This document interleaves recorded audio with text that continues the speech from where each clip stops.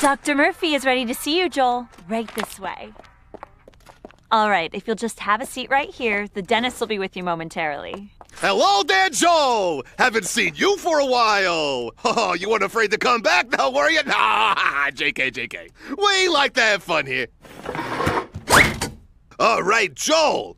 Let's see what's going on with those choppers in there. Open up. Nah, I won't bite, and I hope you don't either. JK, JK, LOL. Say ah.